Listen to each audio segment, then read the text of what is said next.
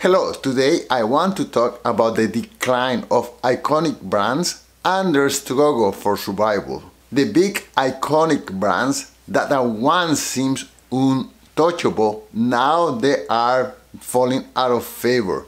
They pride themselves on having this big moat about them to protect them, but this moat has been eroded little by little by new forces. An example of a company with a huge moat around it is Coca-Cola, which actually only sells sugary drinks, sugar water, but their advertising budget is so huge that any company who wants to get into this business, they will have to spend millions and millions of dollars just to get a sliver of the market by that Coca-Cola already commands. But things are changing quickly. There are new marketing techniques that is changing the whole marketing atmosphere. There are little commerce who are taking market shares little by by little by, but there are so many newcomers in every industry that the big brands are just struggling to stay alive. So in which ways are the big brands losing their shine?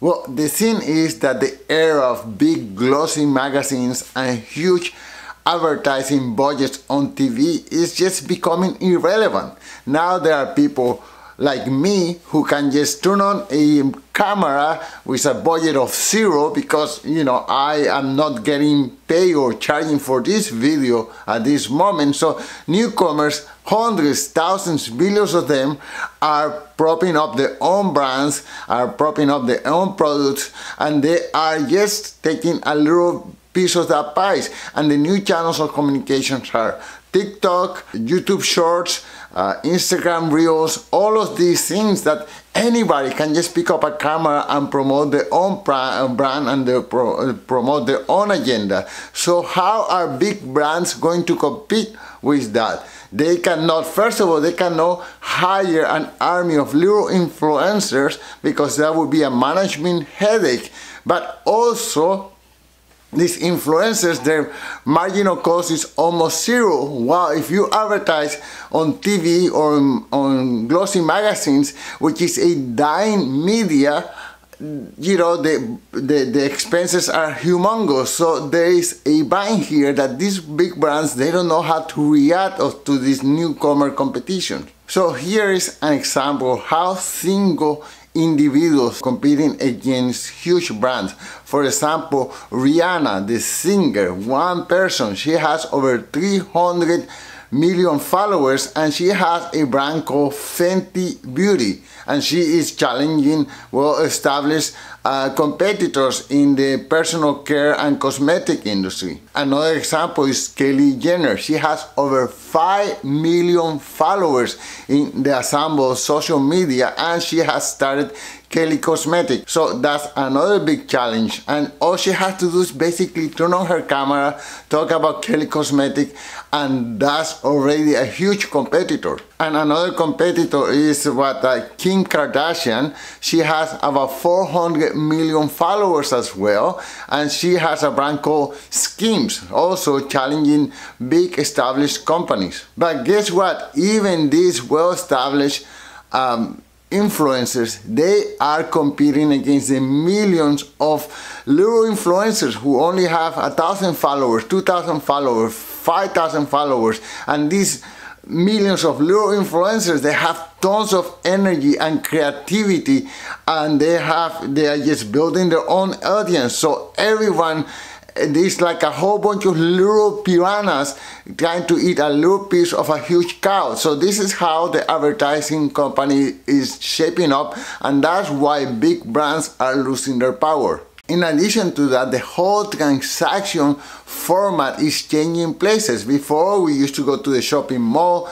and buy our whatever the brands that we were buying. Let's say Nike, we used to go to a shopping center and buy our Nike. But guess what? Now people can buy their Nikes out of Amazon or newcomers. They just build a new website and you know, people are lazy. I am lazy. I rather just click a button and have a package being delivered to me than get into my public transportation, go to the shopping mall, you know, just walk around for hours until I find a product that I like. No, I just go to the, my website, I see an advertisement that I like, oh I, I, like this. I click buy and two days later it's just at the front of my door. I save money on time and I save money on, on, on transportation. It's just a much more pleasant experience. Also the medium of uh, of uh, of consumption, the way people consume media has changed. So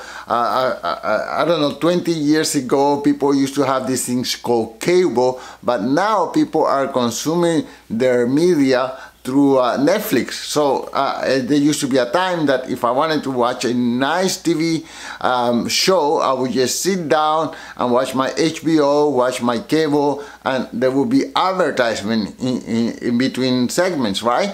But now I just get Netflix and it costs me I don't know how much Netflix costs now let's say $10 a month and I get to see that without advertisement. So this used to be the way the brands used to communicate with us and that that is no longer available to them. Now there is also the problem of brand stagnation.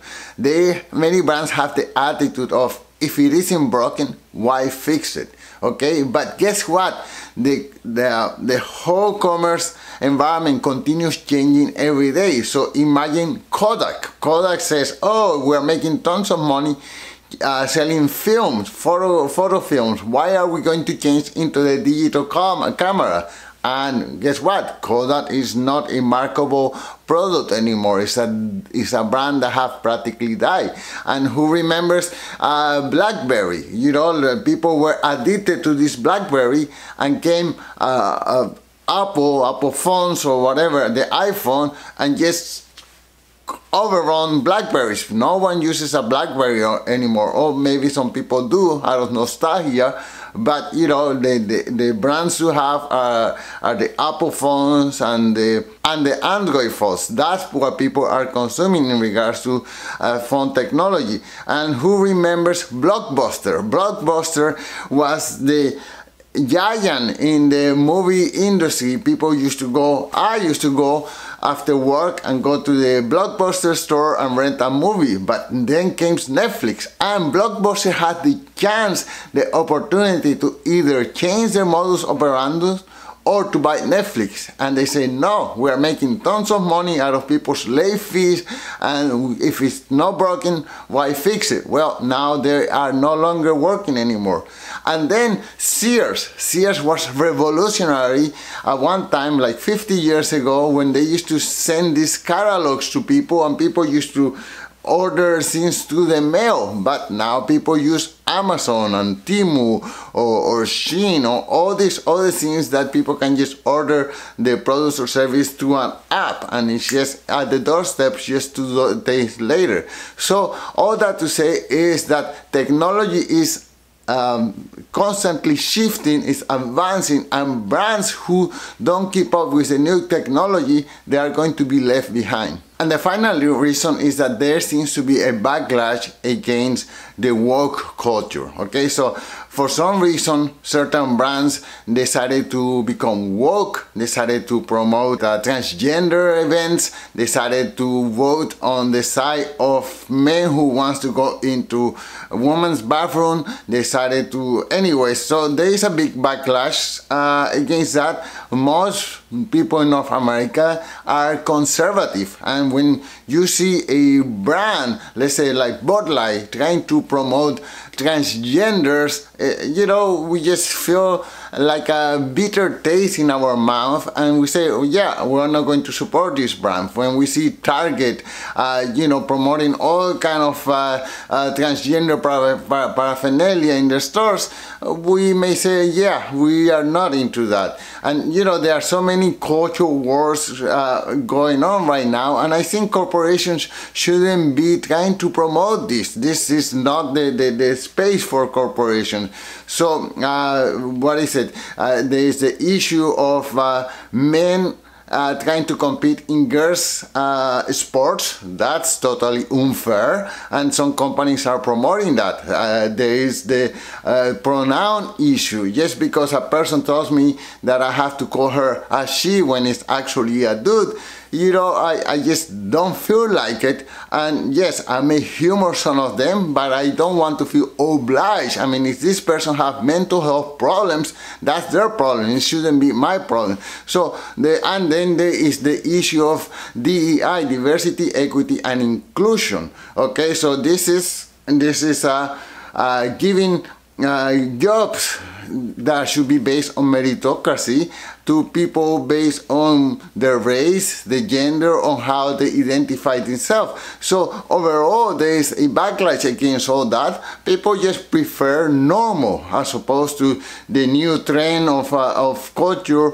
and you know, who knows what is going to be tomorrow but the majority of people just like normal stuff, normal everyday man is a man, a woman is a woman, and you get uh, higher on, on, on merit, not on race. So this is a big backlash and a lot of brands are suffering for taking part in this culture war. So to conclude, brands have to continuously reinvent themselves. A good example of a brand that has reinvented themselves is Microsoft. Microsoft, under the leadership of Steve Ballmer, uh, they were losing market share. They were stagnant. People uh, were considering considering investing in Microsoft as dead money. But then came Satya Nadella, and he has revitalized Microsoft. Now, Microsoft is one of the most valuable companies in the uh, Standard Poor's 500. It's one of the top uh, seven companies that you know whatever happens in Microsoft influence the whole stock market. So this is a good example of how brands they adapt themselves and to continue adapting they have to be churned in the leadership. They have to get rid of the old guy who just uh, is stuck in the past doing advertising to glossy magazines and, uh, uh, and to cable network news and just adapt this new marketing technology. Uh, uh, and you know this is how we see companies flourishing in the 21st century. The bottom line is that the market continue evolving and the company that survives are the ones who evolve with the time. That's it for today. Thank you so much for watching and until soon. Peace